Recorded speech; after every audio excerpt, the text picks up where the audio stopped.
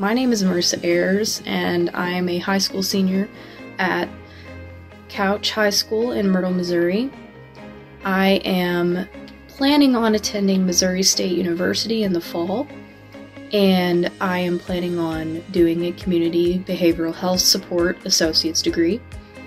After that, I plan on going to Springfield to eventually earn my doctorate in child psychology. Child psychology has been an interest of mine for a while, and I want to help children learn the proper coping skills and help them while their minds are developing. And I would also love to get rid of the stigma around mental health because I feel that that is very important. Thank you for the, your time, and thank you so much for this scholarship once again.